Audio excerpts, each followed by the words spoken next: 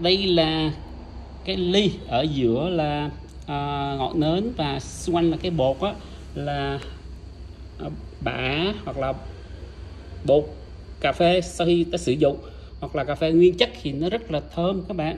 Và mình có rải thêm một ít những cái cánh hoa hồng nè bạn cánh hoa hồng mà đã được uh, sấy khô. Đó và hoa hồng thì nó, cái cánh nó rất là thơm.